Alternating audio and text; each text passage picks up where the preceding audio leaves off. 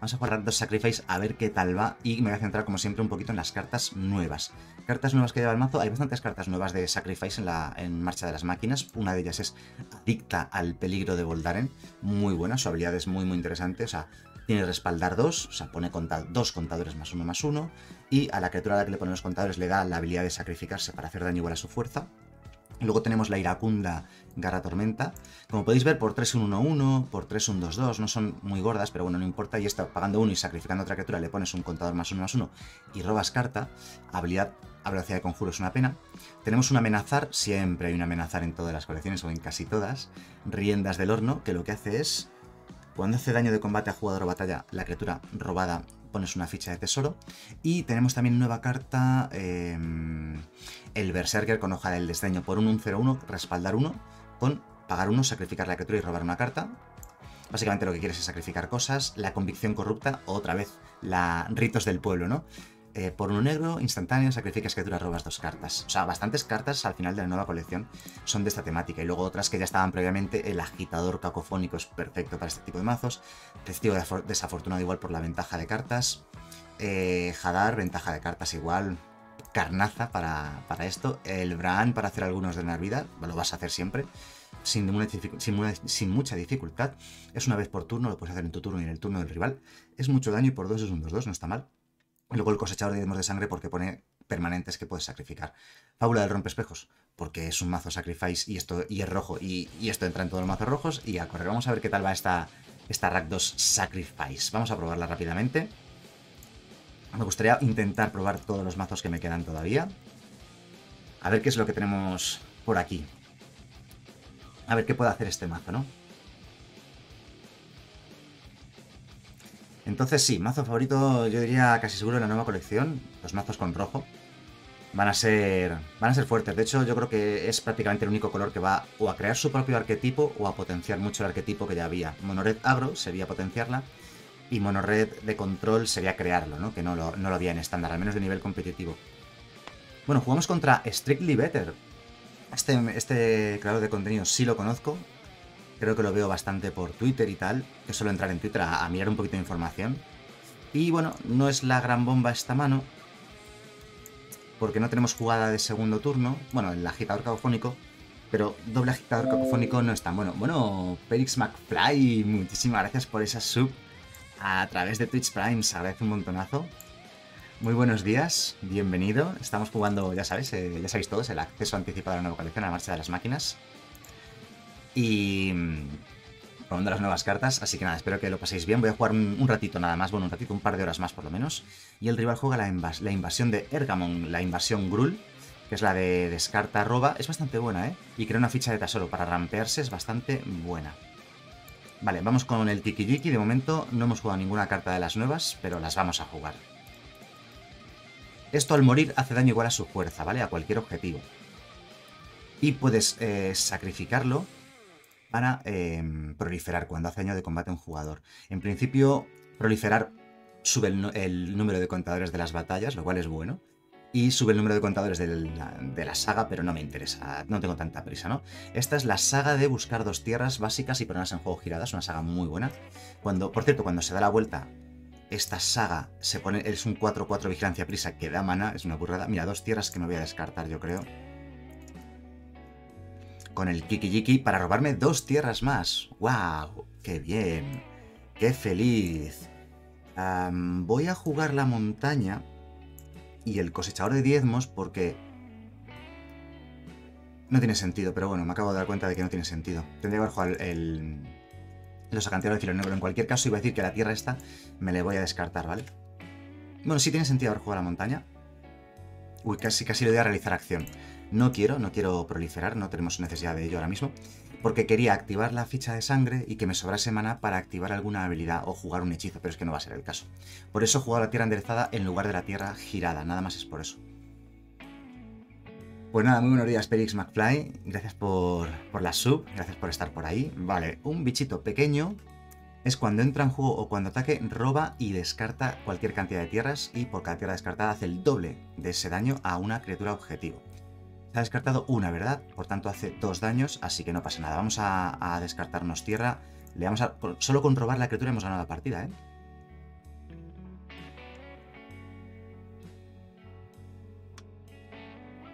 Ah, con esto podemos dar prisa, ¿vale? Esto da prisa. ¿Le puedes dar prisa a tu criatura? ¿Sí? Criatura objetivo. Sí, sí, puedes darle prisa a tu criatura. No lo voy a hacer. Vamos a robar esto simplemente.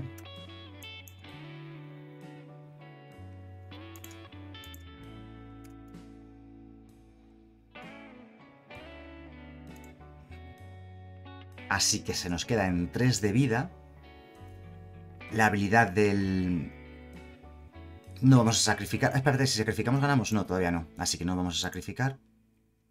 Y vamos a jugar, pues por ejemplo, las dos cartas que tenemos, ¿no? El cosechador de diezmos de sangre, sacrificando las fichas de tesoro.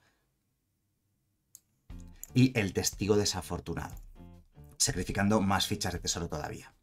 Así nada, recupera el Borborigmos y Febeltep el rival, le quedan 3 de vida y solamente con que se mueran los agitadores cacofónicos ya serían un par de dañitos más. Tenemos el Kiki juega Luca rojo-verde, que no me acuerdo, Josuf, buenos días, bienvenido.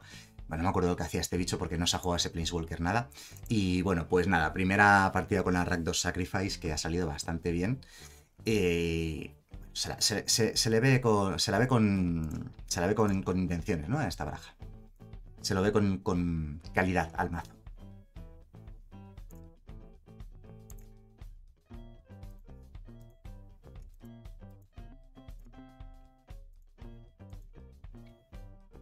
Vamos a ver, segunda partidilla. Vamos a por ella. Bueno, tenéis por aquí arriba el chat del directo para que podáis ver bien los comentarios en pantalla. Espero que no estorbe demasiado. Yo creo que no estorba demasiado realmente, ¿no? O sea, al ser un texto así pequeñito, de un color así apagado y eso. Bueno, jugamos contra Legend, también otro jugador conocido.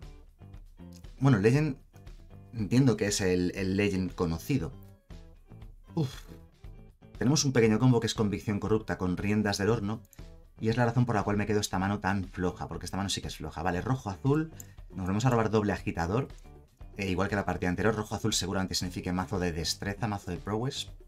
Lo vamos a saber enseguida. Ahora jugará probablemente alguna criatura ya...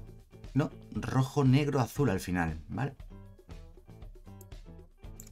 Voy simplemente a atacar en primer lugar por si tiene algo. Vamos a jugar el pantano, aunque vamos a necesitar el doble rojo casi seguro.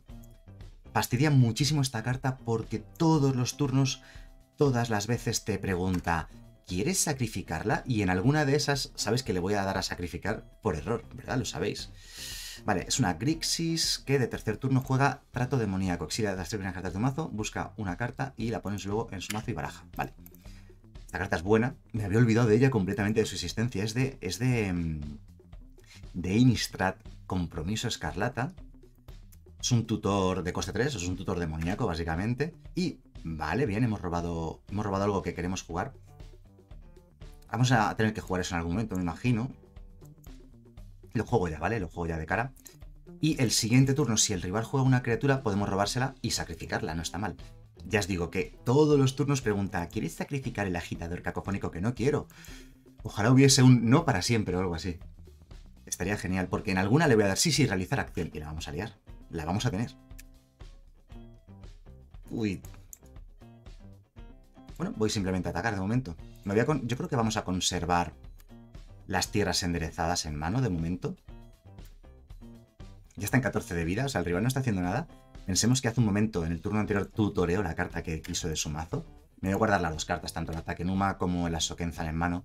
No, no necesitamos realmente la cuarta tierra de momento. Y si la necesitásemos más en el futuro, pues lo pensaríamos, ¿no? Es un Demonic Tutor esta carta. Todo el mundo se había olvidado de ella. A lo mejor en formatos tipo Legacy o Vintage se seguía jugando, no lo sé. ¿Vale? Se rampea con hacerse de oro. Aún no sabemos de qué va su mazo realmente. Se ha descartado un hacer desaparecer. O sea, lleva contra hechizos. O sea, que puede ser más de control de lo que yo pensaba. De momento, por su parte, no ha habido cartas nuevas. Por la mía tampoco, debo reconocerlo. Las tenemos en mano las cartas nuevas, ¿eh? Las tres cartas que tenemos en mano son, son nuevas. Así que esperemos poder jugarlas. A ver si se gira bastante. Uy. Eh. Chandrita. Uf, Chandra, qué buena es. Qué locura de carta. Va a dar dos de manás porque eso es así. rojo-azul para jugar un impulso que se duplica. Es una burrada, es una locura. Y yo creo que llegados a este punto voy a hacer la convicción corrupta sobre el testigo desafortunado, ¿eh? Porque nos hemos quedado un pelín atascados, ya tiene una chandra en mesa y nosotros no hemos hecho prácticamente nada. Lo voy a hacer, vamos a sacrificar el testigo desafortunado para tener un poquito de, de mojo en mano, que es que no tenemos nada y de momento esto lo guardaremos, ¿vale? Pues bastante flojete, ¿no? Lo que nos ha salido. Robamos dos cartas que son bastante mejores, eso sí que es cierto. Eh, vamos a mi turno o aprovechamos otra vez la convicción corrupta. Me voy a esperar, yo creo. Vale, sí, nos vamos a esperar. Uf, vamos a hacer montaña, vamos a hacer un agitador cacofónico de estos. Voy a jugar un Bran... No, pero con doble negro no. Con negro rojo. Casi me la lía aquí el juego. Lo voy a hacer ya. Ah, es solamente una de las dos cartas. Vale, me he liado. Era solamente una de las dos cartas. Bueno, está bien, está bien el Bran. El Bran va a hacer su trabajo. Está, es correcto. Y aquí podríamos ya empezar a sacrificar. Para hacer daños extras. Yo creo, de hecho, que lo voy a hacer. Voy a sacrificar uno porque eh, no vamos a proliferar, obviamente, para hacer dos vidas con Bran ahora, más la del agitador cacofónico, porque la habilidad de Bran se dispara una vez por turno. Ya lo dejamos a 8. No, lo dejamos a 9, perdón. Y cuando estos se mueran lo dejamos un poquito más. Tiene que matar este Bran. Tienen que morir otras criaturas, el mismo no cuenta. O sea, nos tiene que matar el Bran, pero si utiliza la habilidad de Chandra, el menos X, él seguramente querría matar dos criaturas, no va a poder hacerlo. Y si juega criatura, ganamos también con esto, ¿eh? Hey, Ruye, muy buenos días, bienvenido, ¿qué tal? Azori, también buenos días. Qué madrugadores, qué tempraneros. Se dispara la habilidad porque ha matado otra criatura a la vez que nos ha matado al Bran, o sea que vuelve a hacer otro de una vida de 2 más el daño del agitador cacofónico, con lo cual se queda a 6. Tenemos otro agitador y las dos riendas del horno que pueden ser claves. Y ojo, que tenemos la Sokenzan y la Takenuma.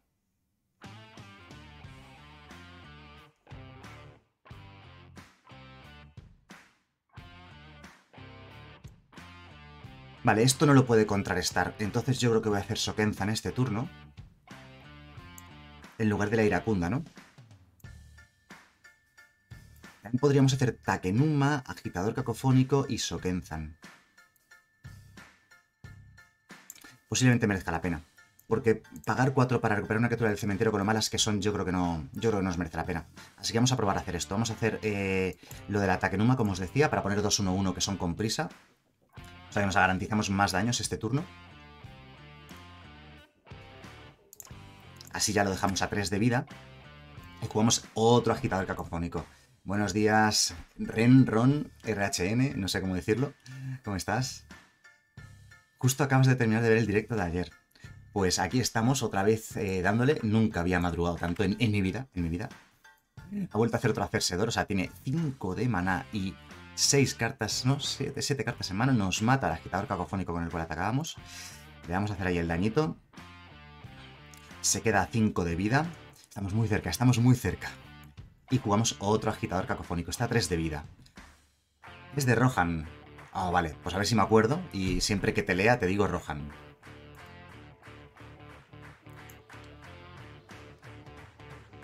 O sea, que intuyo que fan del Señor de los Anillos que está deseoso, como loco, de que salga ya la nueva colección de Magic eh, inspirada en el universo de Tolkien. Creo que es en... ¿Cuándo sale? En julio. A, principios de julio, ¿no? o a finales de junio. Por esas fechas. Por esas fechas anda.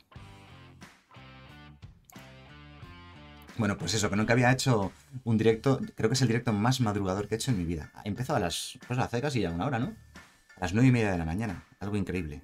Vale, ha sacado ventaja de cartas, ¿no? No, saco mana, saco mana, vale, ha hecho el más dos. Ahí está el mana, lo tiene, lo tiene ahí representado.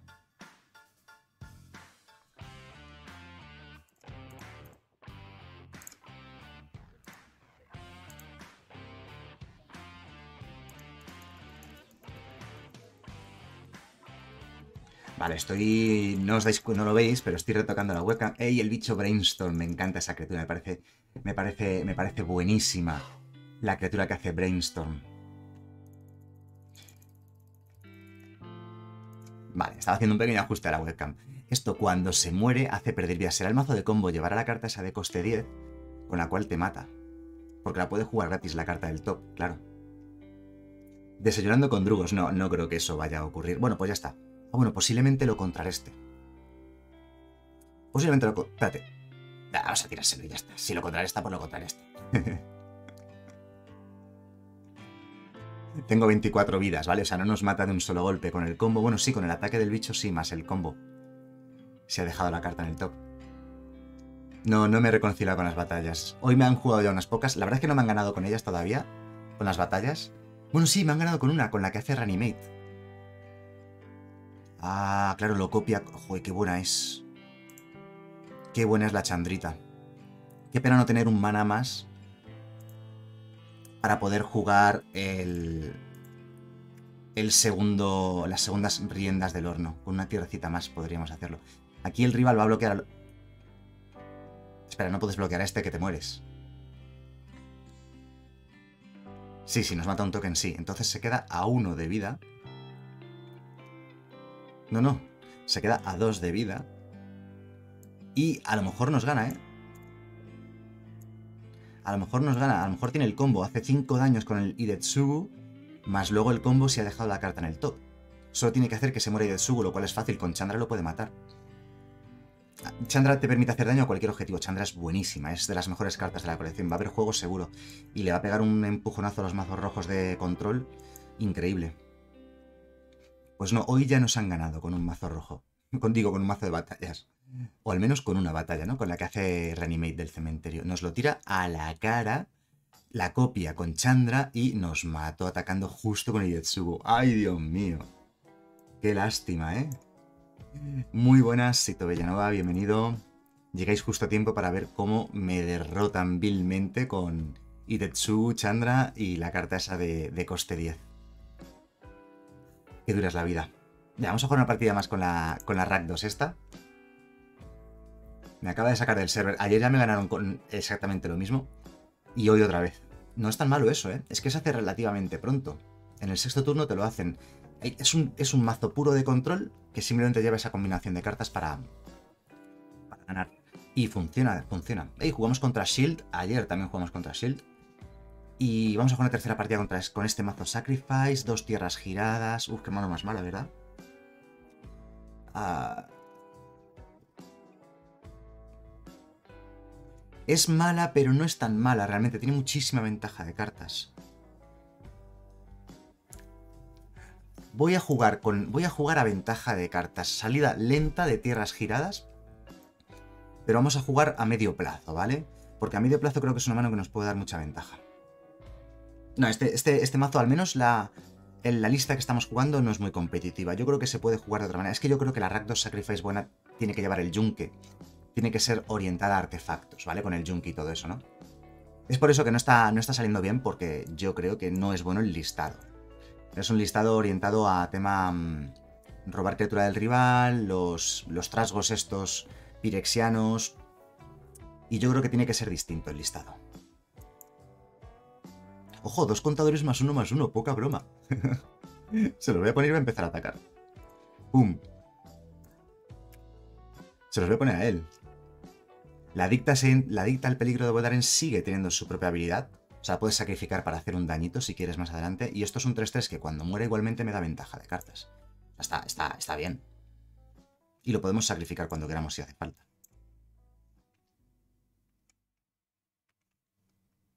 ¿Vale? Segundo triturador de libros mayores. Obviamente es una eh, Spells. Nos faltan algunas tierracillas más. Me gustaría tener más tierras. Poco se puede tener todo en la vida. Vamos a ello. Voy a pegar simplemente de 3 este turno. Vale. Ahí está, como pego, ¿eh? No quiero hacer doble hechizo. Claro, el problema es eso, no queremos hacer doble hechizo. Así que voy a jugar simplemente el agitador cacofónico, un poco así como el que no quiere la cosa. Y lo voy a sacrificar para robar dos cartas. No quiero hacer doble hechizo porque si hacemos doble hechizo el rival va a confabular con los dos trituradores y se nos va a complicar un poquito la cosa, ¿no? Ahí viene su doble hechizo con el considerar. Vamos a ver si se queda bloqueando o no se queda bloqueando, pero... La verdad es que tenemos la posibilidad de hacer ya daños simplemente sacrificando nuestras criaturas. Nos hace la chispa a nuestra cara, ¿vale? De acuerdo, con lo cual crecen los dos trituradores. Vamos a ver si, si ataca. Me gustaría que atacase para que quitase los bloqueadores de en medio, porque no se espera lo que se le viene. Y vamos a poder hacer bastante daño, ¿no? Uy, el Fénix también. Va con Fénix. Oh, rojo azul con Fénix. Esto es nuevo. Ojo, pues sí que va a pegar. Sí que va a pegar porque el siguiente turno nos pone bastante contra las cuerdas. Guarda el 2-4 atrás.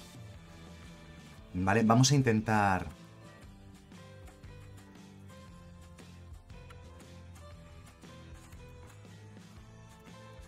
Vamos a intentar ganar rápidamente. Voy a sacrificar el agitador cacofónico, que tampoco le vamos a dar mucho uso. Le hacemos el daño a él. Proliferamos, con lo cual esto va a pegar 4. Ah, no proliferamos. Es cuando hace daño de combate. Solamente cuando hace daño de combate. Vale, tierra por aquí.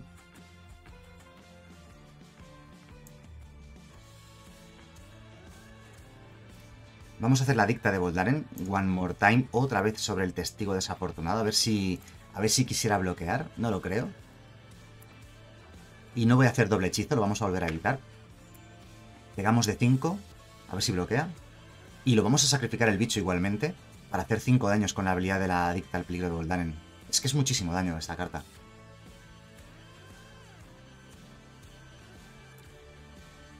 Vale, pues lo sacrifico y te hago otros 5 daños más los otros dos daños que tenemos aquí. Robamos, bueno, robamos no, obtenemos una ventaja de aquí de una cartita que no quiero jugar, se pierden. Ah, se pierden hasta tu próximo paso final. Ah, es hasta el próximo paso final.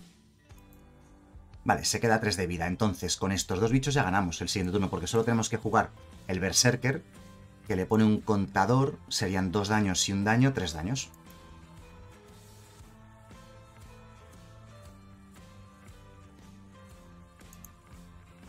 Esto solamente se sacrifica a sí mismo, por cierto, cosa irrelevante. No sé si eso cambia lo que has dicho a Zori. No nos mata este turno, ¿verdad? Tengo letal justo, pero espérate que no lo tenga él. 3... Y 2, 5 y 2, 7. Si la última carta de la mano es otra chispa que hace 3 daños, hemos perdido.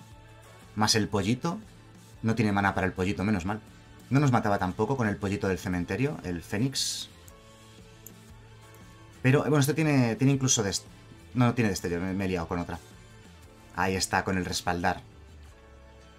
No, pero aún así tenemos daño extra. Ojito que no lo haga mal. Dos daños ahí. Otro dañito por aquí.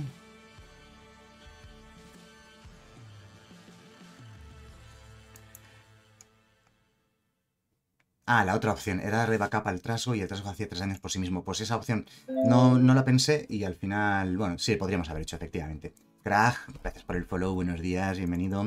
Victoria del mazo Rakdos Sacrifice. Estoy muy contento porque antes nos pegaron un par de buenas palizas y ahora nos hemos, nos hemos rehecho con esta, con esta pequeña victoria del mazo Rakdos Sacrifice.